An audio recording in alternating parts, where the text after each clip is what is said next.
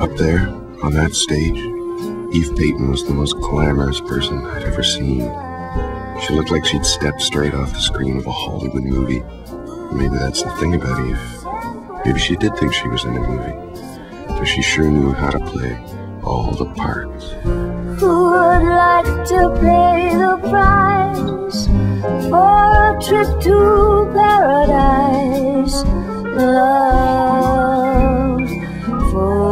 Sự